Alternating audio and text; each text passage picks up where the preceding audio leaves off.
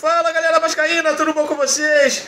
Graças a Deus para mais um vídeo. Hoje nós vamos falar sobre esses três meses de salários atrasados aí, o que pode acontecer daqui para frente. Vamos falar sobre uma investida do Inter no Marrone e o Vasco está de olho no lateral esquerdo do esporte. Então acompanha o vídeo aí até o final que você vai ficar sabendo de todos esses assuntos. Vai!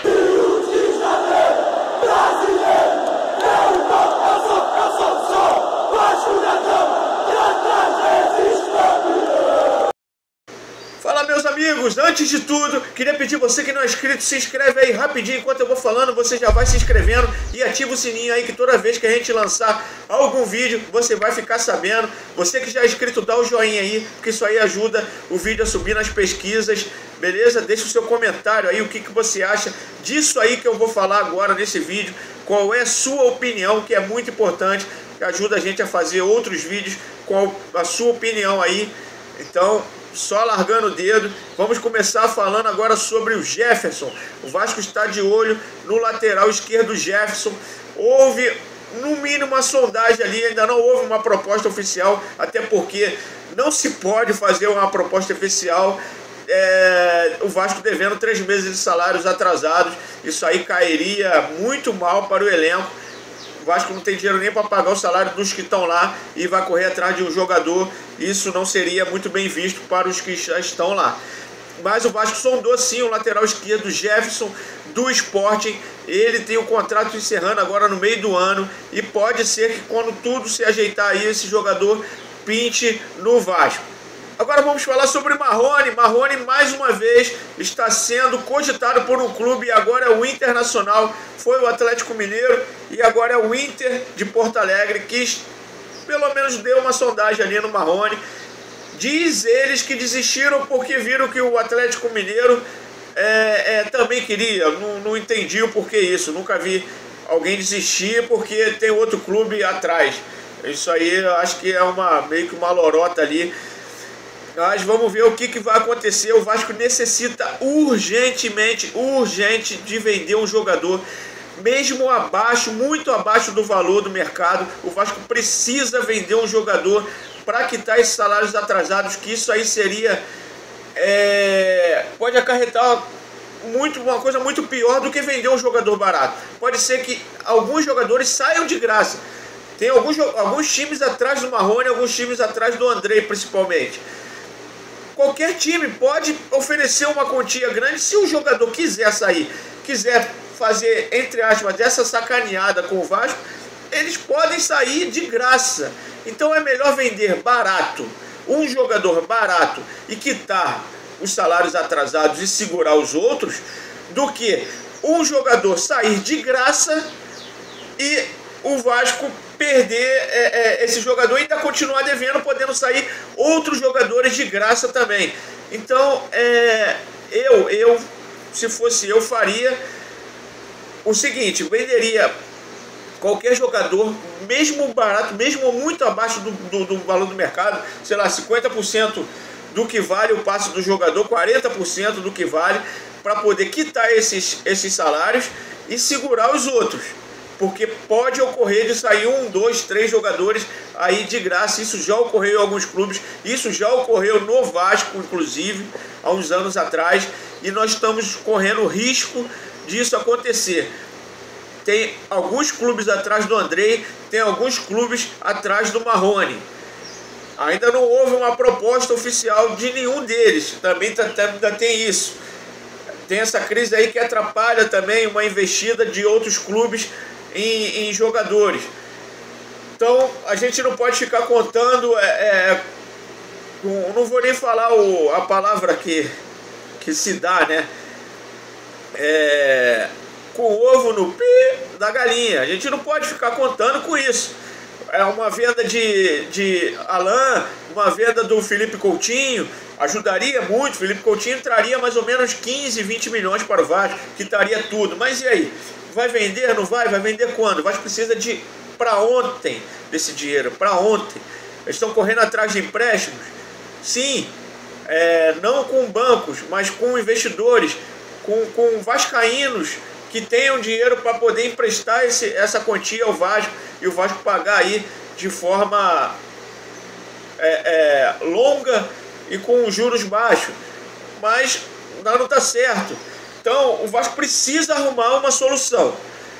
Ou vende, ou arruma um empréstimo, vende barato, alguma coisa tem que acontecer, porque estão três. Hoje já é dia 23. Daqui a pouco nós estamos indo para o quarto mês de salário atrasado. Como é que sai desse buraco? Vai ser muito difícil. Nós vamos ficar alguns meses sem entrar dinheiro. Então o Vasco vai pegar esse valor emprestado para pagar um, salário, um mês de salário atrasado, mas e o resto? Mês que vem está voltando de novo. Já tem outro mês de novo, hein? Vai arrumar outro empréstimo ou não? Vai juntar três meses de novo. Então o Vasco precisa de uma solução. A solução hoje, a curto, médio prazo, é a venda de um jogador, é a venda de um ativo. Então é muito importante vender. O torcedor tem que entender que mesmo de é, é, que essa venda não seja uma venda boa, é uma venda barata, é uma venda que o jogador valeria muito mais, sim, mas precisa, é necessário vender de qualquer forma.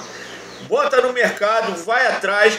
Até isso, essa diretoria está sendo incompetente de chegar e correr atrás de, de, de um comprador. Estou esperando cair do céu. Não, corre atrás, oferece. É um empresário. Cara, precisamos vender o Andrei, precisamos vender o Marrone, ou o Thales Maio, ou o Ricardo Graça, ou qualquer um, Lucas Santos, qualquer um. Empresário, corre atrás, você pode chegar aqui até X. Ó, ele vale isso. Você pode chegar até aqui. Pronto. É assim que se faz, cara. Mas não, os caras ficam esperando cair do céu. Ah, estamos em crise, ninguém quer. Porra! E vai ficar esperando até quando? Até quando isso vai acontecer? Volta a dizer, vai pegar o empréstimo, mês que vem tem que pegar outro. E aí vai viver de empréstimo? Na hora não vai ter mais, já está difícil de arrumar um, quanto mais arrumar dois. Essa crise não vai acabar agora. Não vai acabar agora. Pega um empréstimo grande, sei lá, 50 milhões. Resolveria? Resolveria. Agora, pegar um empréstimo de 3, 4 milhões para pagar uma folha de salário não vai adiantar em nada. Não vai adiantar em nada. O Vasco está muito enrolado, não tem dinheiro para entrar tão cedo. O Vasco está contando com a cota do, da TV do Campeonato Carioca, essas duas cotas que faltam. Estão querendo, por isso que estão é, é, pressionando tanto para o Campeonato Carioca voltar, mas ao que tudo indica, não vai voltar tão cedo.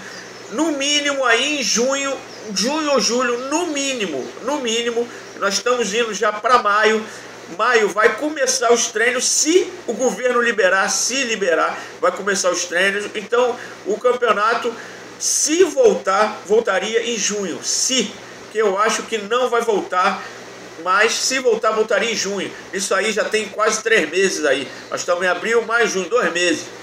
Dois meses a mais de salário. Quer dizer, tem três, com mais dois, cinco, se não arrumar dinheiro até lá. Então, o Vasco precisa de uma solução imediata, para ontem. Campelo, tira o dinheiro do bolso, sei lá, vende a sua casa, faz o que você quiser, mas o Vasco precisa, no mínimo, pagar um mês de salário atrasado, porque corre grande risco de perder jogadores ali é, é, importantes do clube. O Andrei deu uma entrevista é, é, uma entrevista que você vê claramente que ele não está satisfeito, que o elenco não está satisfeito. Tem jogadores do Vasco que ainda não receberam nenhum salário, como é o caso do Cano e do Benítez. Eles estão, já estamos no mês 4, indo para o mês 5. Eles não receberam nenhum real do Vasco. Isso aí deixa com certeza qualquer jogador insatisfeito. Aparece um clube maluco aí, oferece um dinheiro para eles irem, eles vão. Eles vão e não estão errados. Aparece um clube aí, ó, te dou tanto aqui para você, ô Marrone Vou te dar aí, você ganha quanto? 150 mil de salário? Tá bom, vou te oferecer 300, o seu salário vai dobrar e vou te dar um milhão de luva para você sair do Vasco. O cara pega um milhão, vai ganhar 300 mil, em vez de ganhar 150, e vai ganhar em dia. Ele sai, pô. Ele sai, é assim que funciona, infelizmente. Espero que esses jogadores não façam isso. Espero. Mas nós estamos correndo grande risco disso acontecer. Valeu, galera. Obrigado aí. Se inscreve aí no canal. Você que não é inscrito, compartilha aí com seus amigos. Um abraço, porque aqui Vascaíno tem voz, amanhã tem mais vídeo. Fui!